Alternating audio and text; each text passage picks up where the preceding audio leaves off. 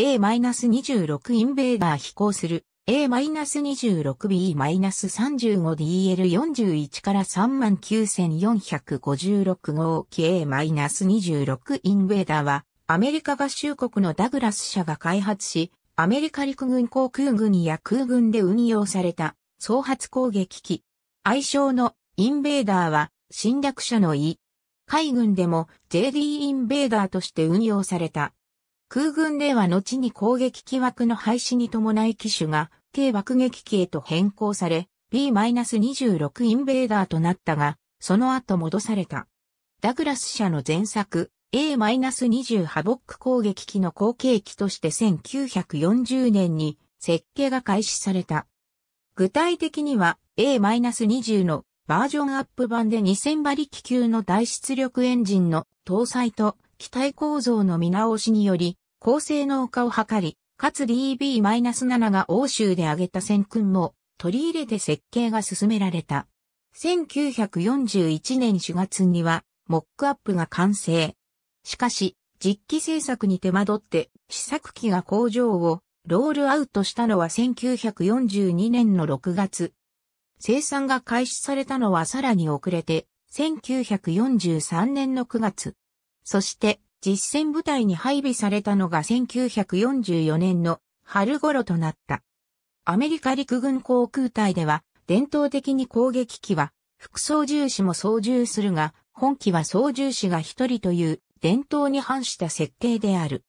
これは、イギリス空軍において、同種の中型爆撃機が単操縦士式であり、疲労が大きい長距離業や主操縦士が死傷するような事態に陥った場合にしか活躍しない副操縦士は不要という戦訓を入れたためとされる。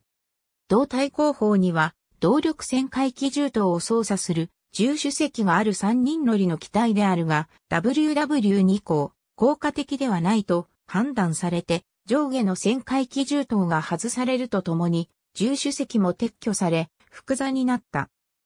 当初、軍から要求された A 型は機種をソリッドノーズとし 75mm 砲を搭載した地上攻撃型であったが、ダグラス社はこれに難色を示し、透明機種型の開発を続行するとともに武装 75mm 砲と 12.7mm 機銃2丁 75mm 砲と 37mm 砲 37mm 砲2門 37mm 砲と 12.7mm 機銃2から4丁などの様々な武装が選択可能なプランを提示し、これが後の B があったとなる。なお、透明機種型は C 型としてガラス張りの機種で中高度精密爆撃のためにノルデン爆撃小順機を装備して完成した。機種に前方固定の 12.7mm 機銃2丁が装備されたが、ほとんどの C 型はこれを取り外すか、あるいは未装備の状態で前線へ送り込まれている。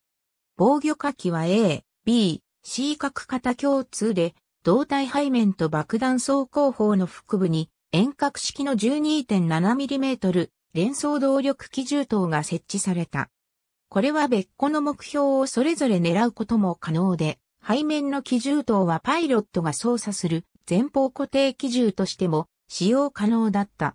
他、爆弾層2000ポンズ爆弾4発、または魚雷2本と主翼下の左右2箇所ずつに500ポンズ爆弾を搭載する。B 型は機種に前方固定の 12.7mm 機銃を6、または8丁搭載する。また、いくつかの機は翼内にも、左右各3丁ずつ 12.7mm 機銃を増設し、最大合計14丁もの前方固定の 12.7mm 機銃を装備して地上攻撃に猛威を振るった。後期型は、翼下の爆弾に変えて、左右7発ずつの5イン航空機高速ロケット弾が搭載可能になり、腹部銃刀を廃止。空いた場所に473リットルの燃料タンクを増設して航続力増加を図った。これらの回収は C 型にも行われている。第二次世界大戦中に初飛行したため、大戦後半の連合軍優勢の中、戦術爆撃に投入された。また、日本本土空襲にも投入され、沖縄から南九州の爆撃に出撃した。対戦終結後は、余剰機がフランスなどの同盟国に供与されたが、引き続きアメリカ軍も使用を継続し、1948年に軍の機種区分の変更から B-26 へ改名されたが1967年に A-26 へまたなした。アメリカ海軍でも標的栄光機など汎用目的に少数の飛行体を運用した。1962年まで海軍は JD-1 や JD-1D と呼称し、JD-1 を UB-26J、JD-1D を DB-26J に故障を変えた。改造型は B 型が輸送機型の CB-26B、偵察型の RB-26B、訓練型 TB-26B、要人輸送型 VB-26B、C 型が夜間偵察機型の FA-26C、ドローン誘導母機 DB-26C、ミサイル開発試験機 B-26C、訓練及び標的栄光型 TB-26C がある。